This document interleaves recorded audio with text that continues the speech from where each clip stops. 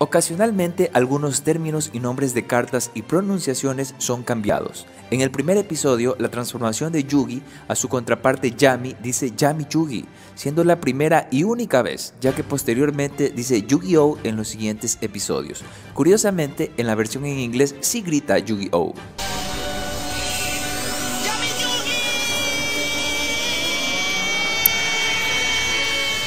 En los primeros tres episodios, las cartas también eran llamadas naipes. Este término se usaría pocas veces más adelante. Del mismo modo, al mazo se lo conoció como monte y luego como baraja.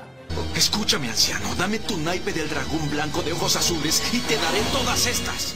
El dragón blanco de ojos azules en ocasiones es llamado ojiazul. También hay momentos donde omiten el blanco del nombre. En el episodio 1, Seto le dice de los ojos azules.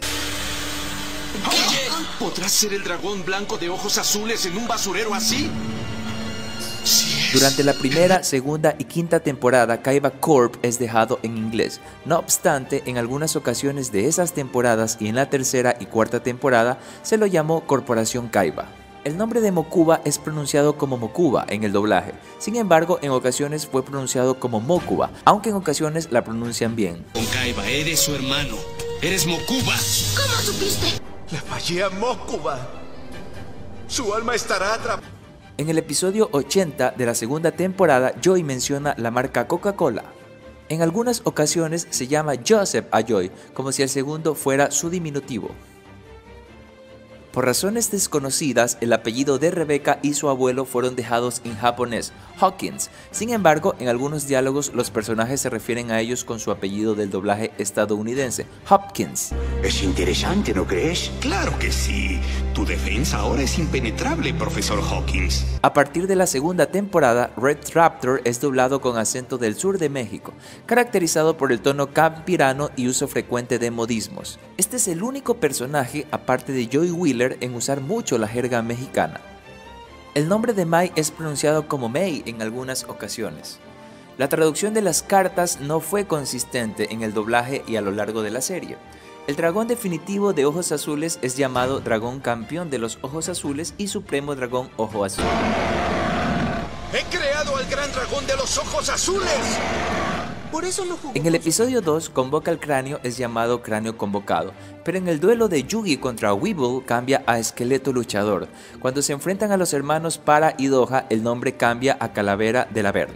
Esto es lo que tengo. El poderoso esqueleto luchador. ¡Grano invocado! ¡Ataca! También en el episodio 2, el guardia celta es nombrado como guardián cautivo, más tarde como guardián celta. ¡Ataco a tu grupo con el guardián cautivo! Este valiente guerrero reducirá a tu arlequina polvo. En el episodio 11, la carta conocida como espadachín de llamas es nombrado como hombre espada. ¡Hombre espada! ¡Eleva tu y En el episodio 24, Kuribo es mencionado como Kurribu. ¡Kurribu en modo de ataque!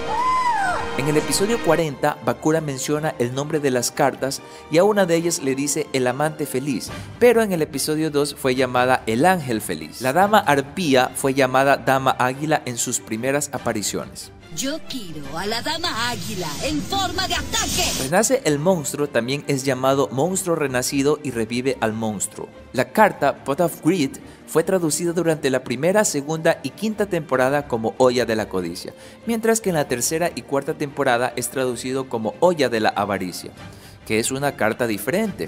Durante la segunda temporada también se llamó Perol de la avaricia. En el episodio 2, Pegasus le dice a Yugi, tu impresionante derrota ante Seto Kaiba, algo erróneo ya que Yugi ganó el duelo.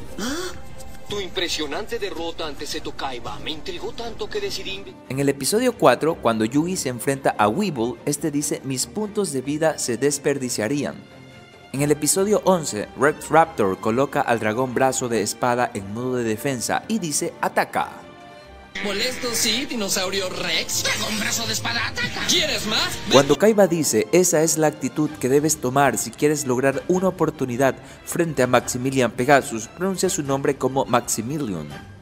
En el episodio 17, Kaiba llama Yugi a Joy. En el episodio 20, Joy dice, no, mi guardia celta, siendo un notorio error ya que la carta le pertenece a Yugi. Cuando Yugi utiliza la caja mística, Kaiba responde, destruiste a mi genio de la lámpara, cuando en realidad solo se encargó de la lámpara, ya que el genio seguía en el campo, por lo que debió decir, destruiste la lámpara de mi genio. ¡No! ¡Destruiste el genio de mi lámpara! Y la magia. Kaiba llama Dragón de Oro a la fusión de sus dragones. En el episodio 29, cuando Mai invoca a la Dama Águila, Tristan dice, él siempre abre con esa jugada, en lugar de decir ella siempre abre con esa jugada.